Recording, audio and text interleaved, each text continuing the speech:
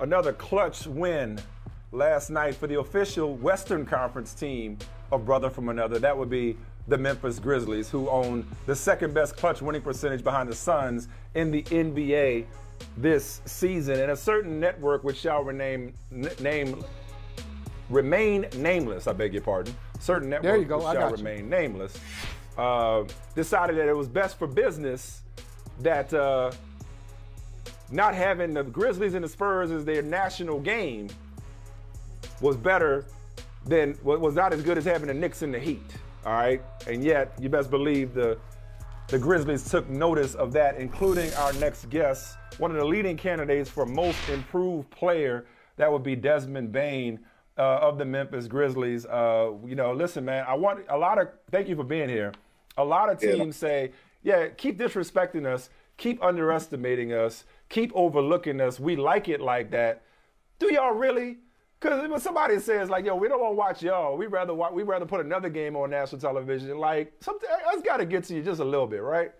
Uh, no, it's always, you know, we, we take note of, of all these little things that, um, you know, whether it's a national media or television, um, whatever the case, other teams, rankings, whatever, you know, we, we see it all. We, we keep it under, under our vest and, you know, keep on moving along best we can.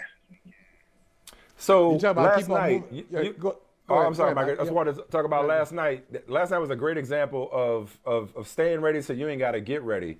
I think you missed yeah. like a week in health and safety protocols. You come in yeah. last night and go for 20. What did you do during your time away to stay sharp to where, you know, I think you had 11 in the first quarter against San Antonio last night to where you didn't miss a beat when you came back? Yeah, I mean everything. I mean, I have my trainer, um, you know, down here. He, you know, had been through COVID already previously, so um, we were able to get a little work in in the gym. The Grizzlies had sent me some stuff uh, to keep me sharp, keep keep me uh, in the loop with things. So, um, you know, even though I wasn't with the team, I was still doing stuff to to stay ready, like you said. You know, uh, Desmond, I don't know if, if, your ears are ever burning if you're in the Northeast, but people in Boston still are upset that they oh, drafted man. you.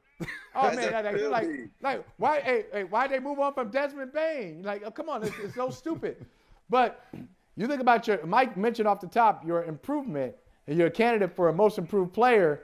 Like you really have taken your your scoring average has gone up. Everything that you you did last year, well, you're doing better this year what was your mindset coming into that second year? Like, what, what were some of the things that you said, all right, I'm going to do this? Yeah, I mean, obviously, um, I sat down with our coaching staff um, after the season was over with, and um, you know, they told me they wanted me to to be able to make plays on the ball. You know, they wanted me to be able to make plays on the ball for myself and and for others. Um, you know, be able to really complement Ja in the backcourt. Um, you know, so that was something that I really honed in on, um, you know, throughout my summer workouts and took it into summer league and, you know, was able to implement it into the season. How about the team's improvement? I talk about your personal improvement, but your team, uh, you know, right, as, as Mike mentioned, right at the top of the Western Conference, have been there and really ascending. Had a, a, some some really nice winning streaks this year where where did that come from? Where where did it, was it? In, in other words, was it the was it the play in when you started to feel it? Was it the first round where you gave Utah a little bit of a scare? Where do you think that that push toward the top of the conference? Where did it start? Yeah, I mean we're we're a young team, um, you know, so we're obviously continuing to grow, continue to develop, continuing to get better, and um, you know, I feel like we've really taken that that next step this year. I mean, last year the playoffs, the play in was obviously huge for us, huge for our confidence. Um, you know, we we use that and build off of it. Um, you know, I think Ja had an incredible offseason. Um, Jaren back healthy. Um, you know, I had a good offseason, and uh, you know, we're we're putting it together. But that thing, most improved player, you know, past tense, but I mean, in, in some respects, right? I wonder the way you've played this year, how are you continuing to improve as the game, as the season goes on? I beg your pardon. I, I assume that that process is never finished for somebody like you. Never. I mean, you know, I'm always constantly trying to improve, whether it's, um, you know, continuously working on my game, working on my body, um, doing stuff to keep my mental sharp. I mean, it's, it's more than just putting the ball in the hoop. You know, a lot goes into it. But, um, you know, I'm always trying to stay sharp, trying, trying to stay on top of my game. Um, you know, there's there's levels that I want to reach. There's there's things that I want to accomplish in this league, and um, you know, I'm a young player, continuing to get better. But um, you know, I think we got something special brewing here in Memphis.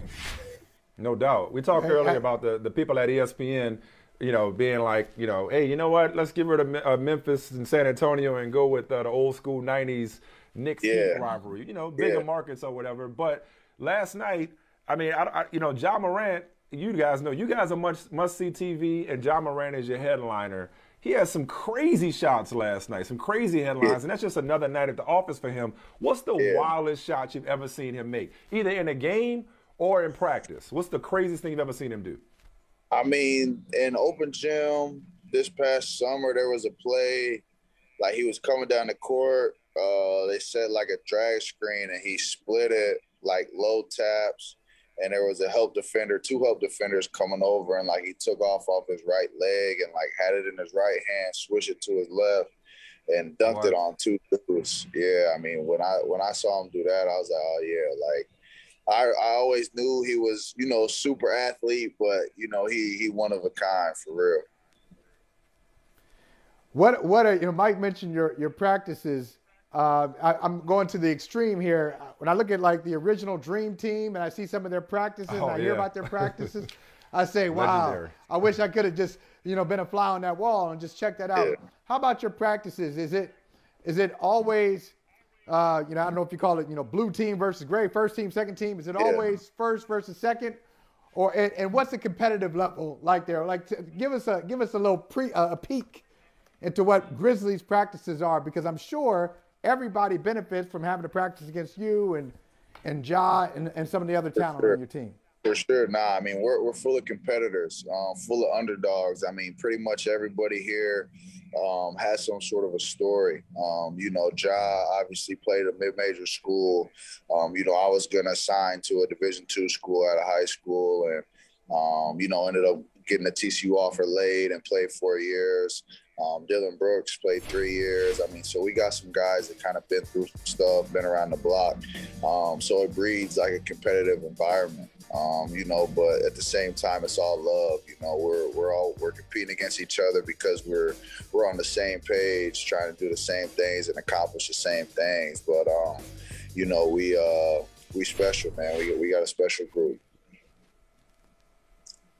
Speaking of special, uh, Steven Adams, like, just what's it like being that dude's teammate?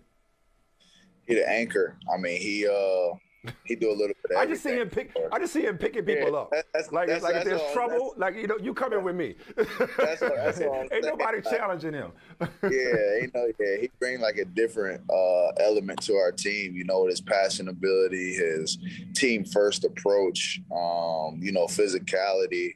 Uh, you know, I credit our GM all the time, but uh, you know, that was another really good pickup that he had. You know what? And and and speaking of uh, of credit, Taylor Jenkins, man, we talked. Michael asked you about the competitiveness, the environment of practice. Like, what is he? What what buttons is he pushing in particular as a coach to get the most out of this? You know, this this band of underdog brothers that you described.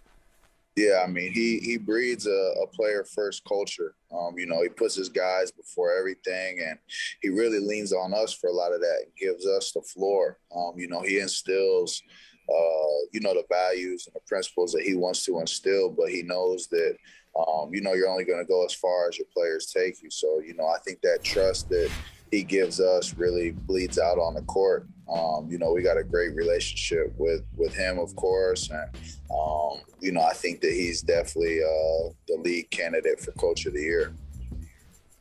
You know, Mike Mike uh, described Memphis as must see TV. I couldn't agree more but just being there, how would you describe playing in Memphis? Love and it. Describe the community.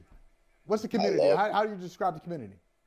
I mean, it's a blue collar. Um, you know, everybody around here works for for what they got. So, um, you know, they rally behind a, a team like us that um, you know comes out and puts our hard hat on you know, every night. One thing you can count on from the Memphis Grizzlies is we gonna play hard. Um, you know, and, and our, our city feels the same way. You know, one thing that they're gonna do is they're gonna fight, they're gonna claw, they're gonna scratch. And uh, you know, I'm I'm real happy that I ended up here in Memphis. Did you know yeah, anything though, about before you got sick. there? yeah, I was gonna say, had you heard of uh, had you heard of grit and grind before you became a, a, a Memphis Grizzly? Oh yeah, I mean Zach Randolph, he's from Indiana, so he you know grew up about an hour and a half from where I grew up. Um, you know, so I was always a big Z-Bo fan, and he was kind of the leader of that culture. Um, you know, the grit and grind. So you know, I'm trying to I'm trying to carry that over. So, so you had already seen Hustle and Flow. You already knew about Ball and G. You already knew about Three Six. You was you was ready for you was ready. You, you, even though because I, I know there was a chip on your shoulder. You talk about that underdog yeah. thing. I mean, you were a first round pick, but 30th pick. Yeah. You know how how much? And a lot of people say I remember all the people. I can name all the people that were picked yeah. ahead of me. How much does that drive you day in and day out on this journey to being uh, this improved player that you are this year? I mean, it's it's everything. I mean, I don't. I'm not really a guy that has to look around for, um, you know, more motivation. But um, that's something that um, you know I'll never forget. You know, I'll never forget the feeling of sitting there on draft night and um, seeing these organizations that talk so highly of me and um, were telling me that I'd be a good fit, and you know, they like what I brought to the table on and off the floor, and then you know see them choose somebody else. You know, and I'm a yeah. I'll make him regret it. You know, I think a lot of teams already regret it, but you know I'm gonna continue making them regret it for hopefully the next 12, 13 years I'm in the league.